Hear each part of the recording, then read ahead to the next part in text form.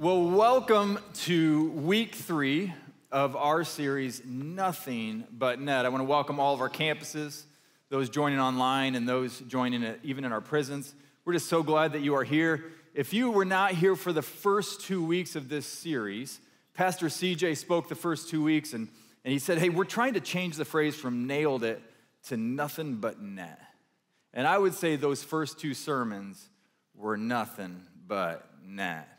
And if you have not seen those, you should go back online and watch those. And if you haven't discussed them, here would be something I would encourage you to do. In our app, every week, we have discussion questions based around the sermons.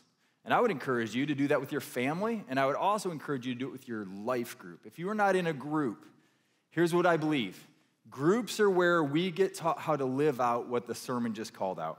And so if you are not in a group, you can go on the app right now and you can actually look at our group finder tool and find a place to get plugged in and connected into a group. And here's one other thing I need you to do. And this one I really need you to do because nobody pulled out their phone for that first one. Here's this one. On the app, tonight, the brackets drop for the men's tournament and the women's tournament for nothing but for March Madness. And we have a challenge going on here at the church. And you need to join in because I have brackets in each one of them. Nothing but Brodbeck, all right? I would challenge you to challenge me and to see if you have what it takes. So get on the app, join the group. We're going to have some fun over the next month, kind of with March Madness as a church. We'd love you for you to do that. Well, my name's Kurt Brodbeck. I get to serve as one of the executive pastors here at Northview. And I told Pastor CJ, I was like, hey, you do realize you're not the only one on staff who played basketball. And I have a basketball story that I feel like I can share. And so he gave me the opportunity to speak this weekend. And here's what I need you to know in 1994, the 94 95 season, the best basketball team in the history of my high school was formed. We started five juniors, one of them was a Brodbeck. That year, we made it all the way to regionals, almost to state. The following year, the 95 96 season, we were ranked number one in the state of Ohio in Division III basketball. We went 26 0 all the way to the state finals, where we had one of those games where it just didn't come together and we lost. So back in 95 and, uh, 95 and 96, there was also, uh, 94 and 95, there was also another team at Archbold. It was a freshman team. It also contained a Brodbeck. It was this guy right here. That was me. My freshman team, we also set a record for Archbold High School. We went 0 and 15. We lost every single game. My brother, he and his buddies were on the very best team in the history of our school. And I, well, I was on the worst team in the history of our school. The difference between my brother and I, well, it was stark. He was listed in the program at six foot three, but basketball coaches do that. They lie for intimidation. He was really about six two, but he was 200 pounds. He could move some guys. I was listed in the program as five six. That was also a lie, more like five three. 100 pounds, soaking wet. My uh, sophomore year, I got to play junior varsity, and if you played well enough in the junior varsity game, you got to dress in the varsity games. And so my brother's team was so good, they were winning games by 30 and 40 points every time they would go out, which meant when I got to dress varsity, I would get to play in the varsity game. And the local radio announcers, it would sound like this every time I got in the game. The one guy would say, Oh, and Kurt Brodbeck checked into the game. And then Larry Christie would chime in, who was the, the commentator. He'd say, Certainly doesn't look like his brother, does he? Every time. One time he said, I wonder if they share the same parents, uh, which was like, oh, we were just, you know, puberty. It just wasn't there for me. So here's what we're gonna talk about today, though. In line with that, we're gonna talk about growth because the growth between me and my brother, it was stark, both physically and in the game of basketball.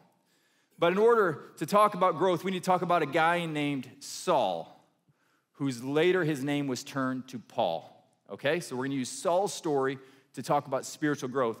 I want you to hear how Saul described himself. So we're gonna start in Philippians chapter 3. We're gonna get into verse 4. And he says, I myself have reasons for such confidence. Here's who he was.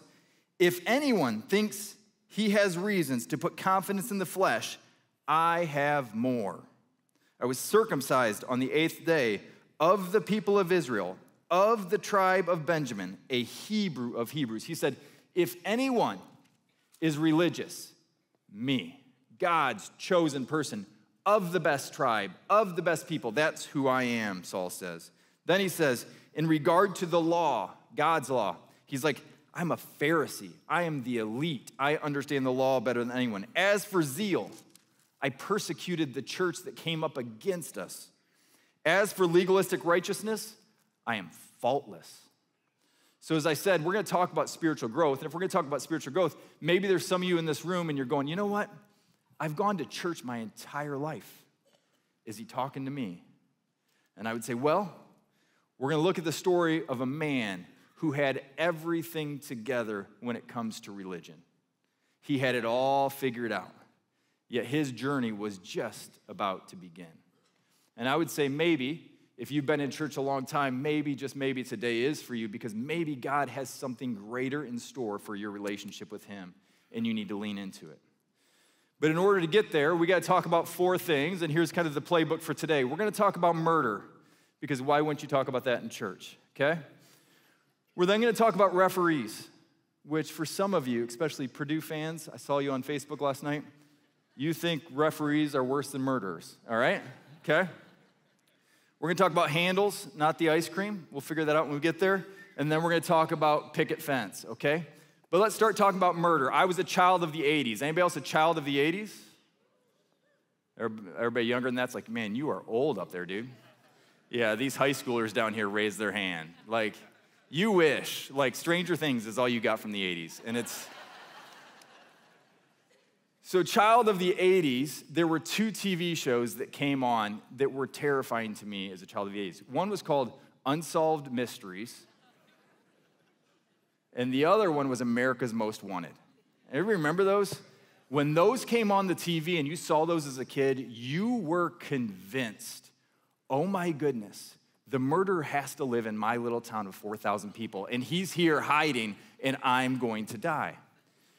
And you never wanted to watch that show. Fast forward 35 years, now people seem fascinated with this kind of stuff. Any true crime podcasters in the place? Raise your hand at all of our campuses. Yeah, crime junkies? My wife is a crime junkie. I don't think she's ever murdered anybody but she is the best murderer that I know. She can listen to the podcast and then she will give me the recap and she will tell me, man, they were so dumb. Everybody knows that when you murder somebody, you leave your cell phone at home so that they can't ping you and tell you where it is. Or they're like, can you believe how they disposed of the body? If they had just done this, they would have got away with it. And I sleep next to her. It's scary. In the fall, she asked me, she's like, What is your life insurance policy? And I'm like, And why am I telling you? Because I'm telling a couple thousand people today if I die, and we can't figure out who it was, it was her. Okay? That's why we're talking about it. But we're also talking about it because we're talking about a guy named Saul. And who was Saul? We already said he was religious, but he has a story. You see, there was a guy named Stephen. Stephen was, was one of the early disciples. As he's one of the early disciples, right after Jesus had rose from the dead, he's going about pronouncing him as the Messiah. Well, the religious leaders of the day did not like that. He's speaking something other than the law that they knew, claiming that Jesus was the Messiah, so they have him stoned. And who was the person who was given the authority to have this man stoned? Saul. Let's read about it in Acts chapter 8. It says, And Saul was there giving approval to his death. On that day, a great persecution broke out against the church at Jerusalem, and all except the apostles were scattered throughout Judea and Samaria. Godly men buried Stephen and mourned deeply for him, but Saul began to destroy the church. Going from house to house, he dragged off men and women and he put them in prison. Murder. This dude was bad. Yet, God has something in store for him. There may be some of you who have joined us today that you're going, man, if anybody knew who they were sitting next to, if anybody knew the secrets that I contain, if anybody knew my past, they would say, Why are you in a church today? And I would say, Oh, you're here because Jesus has called you here, because he has a plan for you, he has a purpose for you. And not one of us, not one of us is perfect. The Bible tells us that every one of us have sinned and fall short of the glory of God. And that this message, well, it's for all of us, from the one who's been a part of Jesus for since they were a little child to the one who maybe today showed up and goes, I don't even know why I'm here, but I got invited to talk about basketball. But let's read what happens. We'll move to Acts chapter 9. It says, Meanwhile, Saul was breathing out murderous threats against the Lord's disciples. He went to the high priest and he asked him for letters to the synagogues in Damascus so that if he found anyone who belonged to the way, whether men or women, he might take them as prisoners to Jerusalem. As he neared Damascus on his journey, suddenly a light from heaven flashed around him, and he fell to the ground. And he heard a voice saying to him, Saul, Saul, why do you persecute me? Who are you, Lord? Saul asked. He said, I am Jesus, whom you are persecuting. He replied, Now get up and go into the city, and you will be told what you must do. Now we read that going further, if you read your Bible for yourself, you read that then the Lord appears to a guy named Ananias. And he says, Ananias, I need you to go find this guy named Saul, and I need you to put your hands on him and pray for him. And Ananias says, No. Saul? I know about that guy. He's a bad dude. And Jesus is like, Well, you're going to do it anyway. And so we read on. It says, Then Ananias went to the house and entered it. He placed his hands on Saul and he said, Brother Saul, the Lord Jesus, who appeared to you on the road as you were coming here, has sent me so that you may see again and be filled with the Holy Spirit. Immediately, something like scales fell from Saul's eyes and he could see again. He got up, was baptized. After taking some food, he regained his strength. So I tell you that story because if we're going to talk about spiritual growth, we need to talk about maybe the beginning. Now, there may be some of you here who maybe you have not encountered Jesus yet. You would say, Hey, I showed up to church, but I'm not even sure what it means to put my faith and trust in Jesus. Here's what I need you to know there is a God who loves you, who has a plan and a purpose for you. He created you and He put good inside of you. Yet at the same time, He gave you free will. And you have the choice to choose to follow after Jesus or to follow after your own desires. And every one of us have to make that choice for ourselves. And there may be some of you that are going, I don't know if I'm ready to make that decision or I am ready to make that decision. I'm going to give you one simple step today.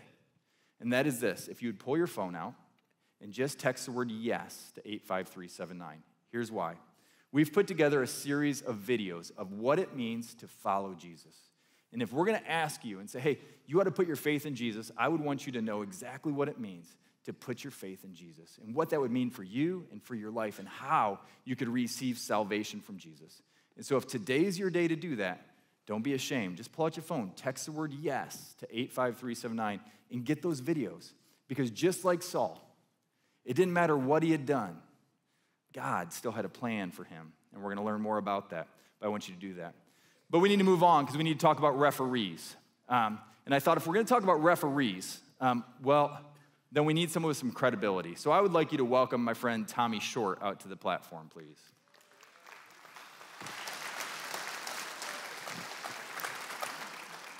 I got to tell you, Kurt, as a former referee, I'll never get used to people clapping and applauding when I walk out. So this the first time unique, he walked out, he yeah. was like, "Whoa, we didn't expect that. Thought we were going to get some booze." Um, so, Tommy, we are going to talk about referees, but here's here's what I need to know. So, why would you ever choose a profession where the moment you walk out, there are two people that don't like each other, but the one thing they have in common is their hatred for you?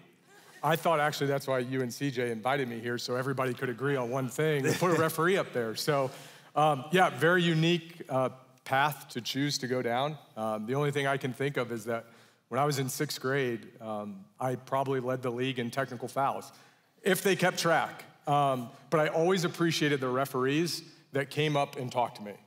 Uh, never agreed with anything they said in full transparency, but I appreciated that they, they came and spoke to me and told me excuse me, what I did wrong. And I thought, I can never to this day remember any of those referees' names, but it was the series of those conversations during the sixth grade season. And I thought, you know what? I want to do that one day. You know, some have a dream to play in the NBA. Mine was, was to referee. And I think as believers, I don't want to gloss over the point that we need to be intentional with our actions and our words because we never know whether it's at work or at home in our neighborhood that someone sees what we're doing and says, you know what, one day I'd like to do that. Um, and I was fortunate. I got to referee almost two decades. Um, the last 10 at the Division One level, college, uh, men's basketball, and refereed in all over the country in the Big 12, American, Atlantic 10, Missouri Valley, Horizon League. Got fired in some of those, got rehired. Um, got to spend seven straight Christmases in Hawaii refereeing the Diamond Head Classic, which that's not a terrible way to spend Christmas.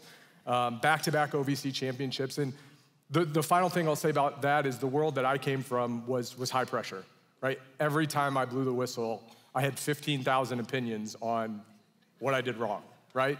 And I had to be really good for 38 minutes, but I had to be perfect in the last two because if I wasn't, I would end up on SportsCenter or YouTube, and all of you would be sharing the clip of look what this guy did. So, and then the highlight, um, working with our men's Olympic team in FIBA and traveling overseas and working with the 2012 and 2016 Olympic team. Yeah, so I think we have a picture of the uh, Olympic team um, that they're putting up there. There's a few names that people might recognize on that uh, picture, but I thought it would be good to share a story to get started. So, um, why don't you tell us the story of the best game that you ever officiated? Okay, I'm gonna bring this one to life. Do it. So, as, as retiring from officiating and, and, and, now speaking, that's the number one question I get from fans, right? It's like, what's, what's the biggest game? And I'm, I'm, from Indiana, didn't go to Indiana, my wife did, but if I'm talking to a Hoosier fan, they're like, you ever do a game in Assembly Hall as if like that's the only place that they play college basketball? No offense, Hoosier fans. Um, but I answer that question as the, the biggest game I ever refereed was with that team in a practice. And people are always like, practice? And, and I'll share this story, and they put the picture up there of the team, and for basketball fans, the 92 Dream Team will never be duplicated. But in my lifetime, and I'm 40, that 2012 team, that's in second place and it's not close, I promise you. And the starting lineup was Kobe, LeBron, Carmelo, Chris Paul, and Tyson Chandler. The second unit, when they were all still teammates at Oklahoma City, Durant, Westbrook, Harden, Deron Williams was the point guard. Blake Griffin got hurt the week before in Vegas, so they bring in some guy, uh, Anthony Davis, you might have heard of him, uh, 19 decent. years old, never played in the NBA, but they bring him in as kind of the 12th man, and then Kevin uh, Love and Andre Iguodala. So here I am. This is my first practice. And quick show of hands, who's seen the documentary on Netflix, The Redeem Team, about the 2008 team? Okay. All those stories about practice, it's like the Loch Ness Monster. I've been involved with two different teams. They're all true, and that's just the tip of the iceberg. So we do this two and a half hour closed practice with, with the 2012 team. And then Coach K is like, hey, we need to do situations. And, and for non basketball fans, we're gonna do plays where the shot clock's at four seconds and each team gets a chance to figure out what they would do in that situation. And to this day, I've re encountered this play in my mind hundreds of times. And I don't know where Kobe came from, other than I know he was one of the 10 on the court, okay? And so fans will ask me, hey, did you ever get caught up in the game? Like you're around some of the best college and pro players to ever play the game. What what a cool experience. Did you ever get caught up? And there was one time, and it's the play I'm about to explain, where the whistle literally fell out of my mouth and I was in shock. So Anthony Davis comes off a screen and he catches it right below the free throw line, about three or four feet. And he's gonna go in for an uncontested two handed dunk. Kobe comes, don't know where, and proceeds to two hand shove Anthony Davis his teammate, in a practice, and Anthony Davis goes 10, 12, 15 feet out of bounds. In a real game, I wouldn't have wasted the fans' time because I know how much you love officials at the monitor. I wouldn't even had to go to the monitor to, to eject Kobe. I would have thrown Kobe out immediately. And I was just in shock. And after that, and I'm not gonna repeat because of where we are right now, what Kobe said to Anthony Davis, to Coach K, to Coach Boeheim, and the rest of the team. And he said, if you're not willing to play to my standard, don't get on the plane and come to London. Because we're not gonna, if you're gonna do that in practice, what are you gonna do in the game? And so that was a real eye opening moment to show, even at that level with future Hall of Famers, there's still another level of preparation. Yeah. So hold on to that thought because we'll talk again about Kobe and his practice preparation because that's important for our conversation later. But that's such a good story. But eventually you say, okay, this career, um, I need to switch, switch some things. So talk a little bit about that, switching your career and why. Yeah, so we started to have kids um, back in 2019, and so it was kind of on my heart when the 2019 season started that it was probably time. And I don't know if any of you can relate, but you know, a lot of times what we do for a living is, is who we are. We're not able to separate the who and the do. And I can tell you, my identity wasn't tied to officiating, my identity was officiating. Mm. My first mentor, John Adams, who passed away um, at the end of last year, he told me when he hired me at 19 that your priorities ought to be in this order. And I didn't understand it at 19, but I do now. He said faith should be number one, your family should be number two, your career should be number three, and then find time for officiating at number four. Kurt, if we would have met five years ago when I was still refing, even last year, I would have told you outwardly those were my priorities, but my feet didn't match my mouth. Mm. Because the reality was, my priorities were officiating was one, two, and three. If I had time for God, my family, and my career, they found time at number four.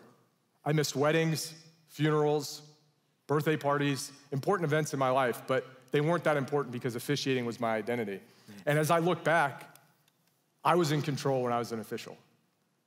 I might not have verbalized it, but I was telling you, I don't need God.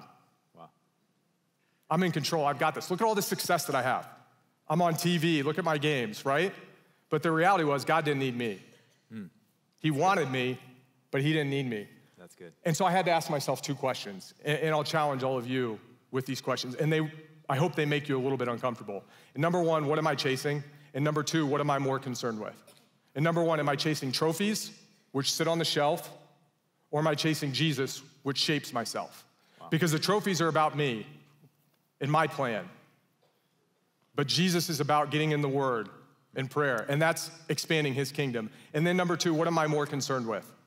Am I more concerned with random letters behind my name, or am I more concerned with the red letters proclaiming His name? Come on. My letters behind my name, those don't mean anything. That's just about me. The red letters proclaiming His name, that's what shapes our growth. That's what expands his kingdom. That's what matters, not basketball games. Easiest interview ever. Um, so, you embarked on a crazy journey in August. Why don't you share what you were doing for this year? They already thought I was nuts. I don't yeah, know what yeah, they're just throw it now. out there. So, back in August, uh, just after being attached to my cell phone for, for so many years, I decided to give up my cell phone for an entire year. So I'm, I think today's day 225. We started August 6th. So not smartphone to flip phone, like no cell phone. Like I'm all in. I'm not toes in the water. And what really came to me about two weeks into this journey was I thought this was, and I had true intentions. I wanted to become more intentional in my life. I wanted to create more time for those that matter, the relationships, my career. But God was saying, You thought this was about a phone? Watch what I can do in your life if you put that away. Hmm. Watch what I can do. And I can tell you the only reason I'm sitting here right now sharing my story with you is because of the phone and putting it away. And the first day you put away the phone yep. was the first day that you came to Northview, right? Yep. And give us some stats on the phone about the average. Let's make people uncomfortable about okay. the phones real quick. Give us some Let's just keep it going. On, I've got the stripes on, on, on, might as well. Uh, on how the average American uses their phone. And I can share this because I was one of the statistics. Okay, so this isn't old man yelling, get off my lawn. The average person spends four and a half, day, four and a half days, four and a half hours on their phone, non work related, each day. The average person will check their phone 144 times a day. That means once every seven minutes that you're awake. 89% of people will reach for their phone the minute within waking up. And 75% of people will respond to any notification on their phone, whether it's social media, text, email, within five minutes. So, Pastor CJ often says, Time flies, but you're the pilot. And sometimes our time gets hijacked from us. And in the spiritual growth conversation, keep that in mind as we talk about the time we have to invest in our relationship with Jesus. All right, Tommy, I want you to jump in though, because you had a kind of a defining moment of your life and in your spiritual journey in October. Would you please share that with everybody? Yeah. Um, so that Sunday that, as, as Kurt referenced, uh, the first day that I started the no phone journey was the first day that my beautiful wife and two girls, we started coming here regularly, which I don't believe is a coincidence. And that series was titled How to Pick a Fight, which selfishly as a referee, I could have given that whole series and I've never spoken on, on a pulpit before. But yeah, you're good at that. Yeah, you can ask a lot of coaches around the country. But CJ really shared three things that I encourage all of you to go back and watch this message because it had a profound impact on me and, and the story I'm about to share with you. But CJ said three things that day. Number one, life will jolt you at some point. Number two, whatever's inside of you will come out of you regardless of who is around you. And number three, anytime we encounter a problem, we have three choices. We can go inward and suppress, we can go outward and place blame, or we can go upward and talk to God. And so, great service that Sunday, October 22nd. Go home after service, and we were planning on going downtown. We have two, two small girls uh, to Zubu. And um, I'd had panic attacks before in college, and it started again. The, the tightness in my chest, and, and now it's in my throat and in my jaw, and this feels different. This doesn't feel like a panic attack. And the, my fingers are, are numb. And, uh, and I took pride, Kurt, as an official, in chaotic situations of being the sense of calm. And so I just went up to my wife as my two girls are sitting at the kitchen table and positioned myself in front of them so they wouldn't hear or see. And I just said, Andrea, call 911. I don't want the girls to get scared, but this doesn't feel like a panic attack. I think I'm having a heart attack. And so I'm taken in the ambulance to IU North, and they were busy that day. So I was actually in the hallway next to a wall. And they didn't let my wife back for about an hour and a half or, or, or two hours. And um, I just, I, re- I remember audibly yelling out loud, I feel so alone. Hmm. I went inward. And I remember hearing from God, and He said, I've never left her side. And, and I'm hooked up to all these monitors and IVs and everything else, and doctors are running around with the nurses, and I scream out again, Am I having a heart attack? This doesn't, like, I'm, you guys aren't reassuring me. What's going on? And they said, We're, we're working on it. Let, you know, we're trying to figure it out. Just stay calm. And I remember God saying, Your physical heart's fine. You're here for your spiritual heart. Mm. And that's mine. And then lastly, and I, have heard, I've heard people talk about this, and I saw double doors in the, in the distance, that the last thing that some people see is, is a light. And to this day, I couldn't tell you how I never saw those double doors when I came in. I, don't, I never remember seeing them, but shortly thereafter, I saw them open and it was a bright sunny day, and I saw a light. But this time I didn't, I didn't yell. I did what CJ said. I went upward. Hmm. And I said, God, I don't, I don't know how to pray. I don't even know what to say. But I'm ready to be at your service. Hmm. And whatever I need to do, I'm all in. And I share that story, and I told Kurt this earlier, and this is just on my heart right now. A couple weeks ago, CJ and Mark asked me if I'd be willing to come up here and, and share some of this. And my prayer every day since then, even this morning, was God, don't let anyone who hears what I say become enamored with basketball stories or even what you're doing in my life. Because that's not the point of any of this. Cause them to be curious of what you can do in their life, not mine. And last night, I was out in the lobby with, with my wife and girls, and I could see this lady in, in the distance. And she, she wanted to come up to me. And she was holding all the first time visitor stuff in her hands. And she came up, she started crying. She said, my friends invited me, and I didn't know if I was going to come, but I ended up coming. And I think I came because of God. Yeah. And that alone made all of what I've gone through so far, that was all worth it, that one person heard what I had to share. Yeah. Yeah. And I just love that moment. Thank you for your vulnerability. Thank you for telling your story.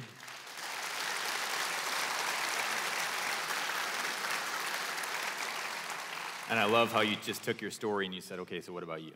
Like, this was my all in moment for God. When's yours coming? Um, and I think, I hope you'd take that challenge.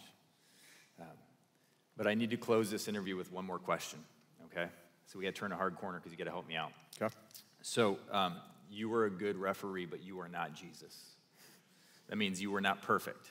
That means you made bad calls. I liked him until this point. And so at the end of the game, um, I'm sure you've made some calls, and, and I've heard many fans do this. We would have won that game if we weren't playing six on five uh, or eight on five, if stripes was actually not for the homers, you know, whatever it might be, right? So, what do the best coaches and the best players say to you when you make those bad calls? Well, in the moment, they do say, You're terrible, and I won't repeat what they say, and there's, they're, they're caught up. But I understand in the moment because it's high stakes and there's a lot involved. You're, you're dealing with people's livelihoods. I, I understand that. I put myself in their shoes. But the best of the best are able to take a step back after that moment of emotional pull and they realize it wasn't just one call. And I know as fans, you'll find that hard to believe, but there's not one call that I ever made, whether it was in the first few minutes or the last few minutes, that decided a game. And the best coaches and players will realize, you know what? We missed 12 free throws, we had 17 turnovers, we didn't get any of the 50 50 loose balls, and we missed nine box outs. So, yeah, that one call, it was with 20 seconds to go, but that that didn't decide it. And I think the point I, I'd like to leave you with is the best of the best, regardless if you're an official or a pastor or whatever it is. If you're always looking outside to blame someone, you're going to be looking for a long time. Hmm. And until you can go inward and look of how I can improve, because it might not be my fault, but it is my responsibility to grow and to get better. That's good. One of the greatest coaches of all time, his name was John Wooden. He was also one of the hardest on referees, if you learn more about his story. But John Wooden said this You're not a failure until you start blaming others for your mistakes. Hey, uh, hold on to that thought, but we need to get Tommy off the platform. Now, Tommy, you, you cheered for him in the way in, but his love language is boos. So, would you do me a favor and boo Tommy off the platform, Come please?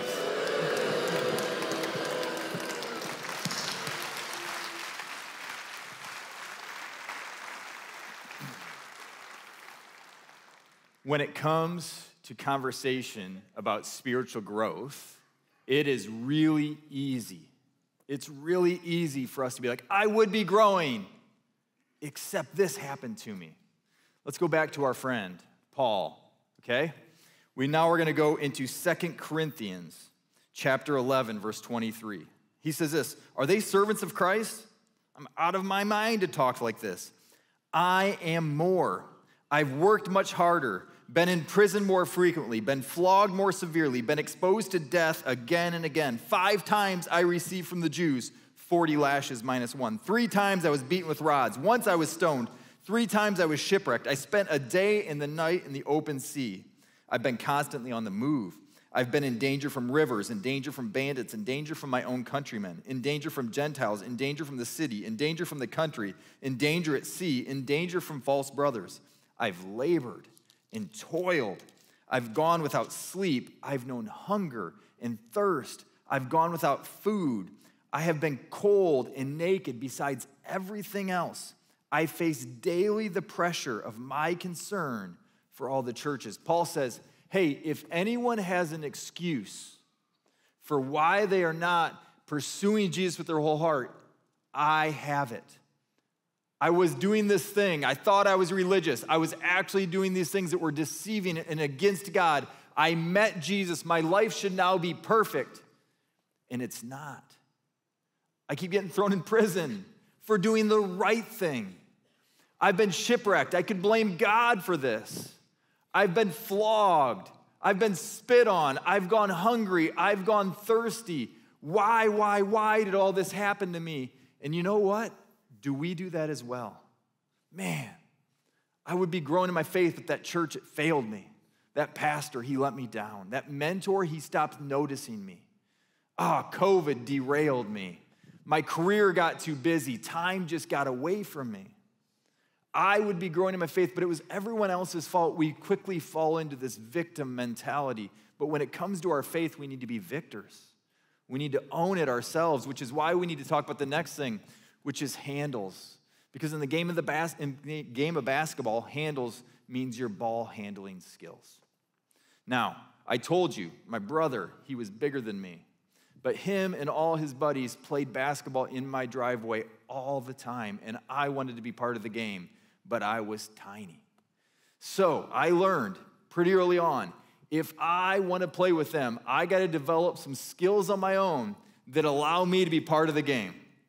So in third grade and fourth grade, when everybody else could just dribble with their dominant hand, I was out in the driveway dribbling with my left hand over and over and over again. I needed to develop some ball handling skills so that I could be part of the game, even though I wasn't physically big enough to be part of the game. I need to develop some fundamentals in my life. There's a coach, his name is Bobby Knight. Anybody heard of Bobby Knight? Love him or hate him, you've heard of him, especially from Indiana. Bob Knight says this the key is not the will to win. Everybody has that. It's the will to prepare to win that's important.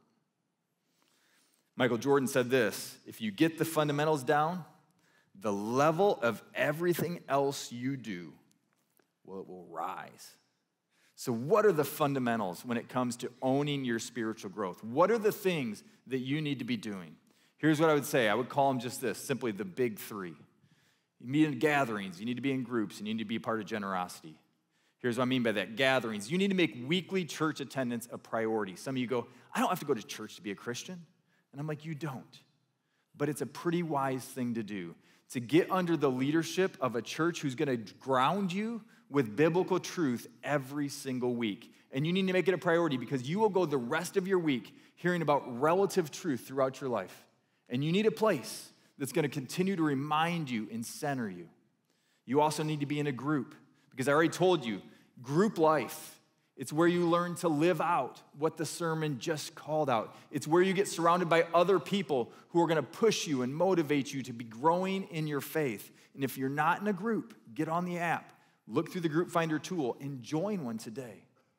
You need to be part of generosity. And what I mean by generosity is you need to be generous with your time, your talents, and your treasure.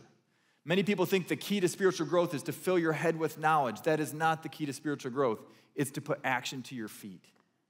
And the more you start walking out your faith, the faster you will grow. Head knowledge does very little but puff you up. But the moment you start serving like Jesus, then you begin to grow and accelerate your faith. And again, you can go on the app, you can take a test drive to serve at our church or in our community through one of our local partners just by clicking the test drive portion of the app because you need to be taking action steps. God's word. If you do not have a Bible, you would walk out the doors at any of our auditoriums and go to the information center, and we will give you a Bible.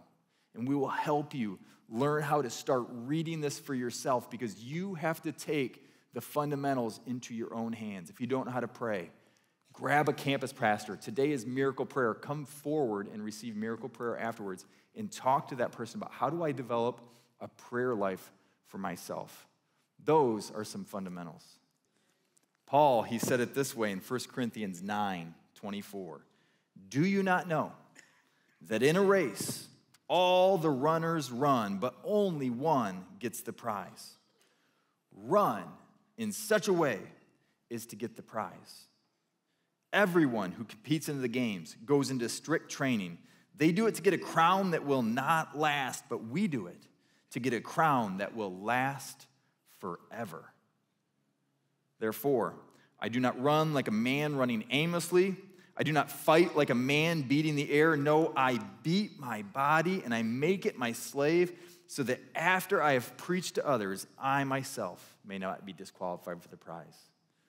Kobe, you heard it. He practiced hard. He took the fundamentals and he practiced like a maniac so that he could be the best.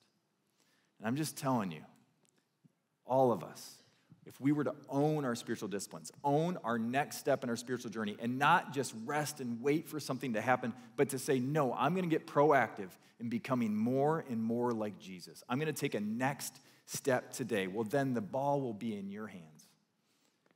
And you will be able to take the shot, and it will be nothing but net.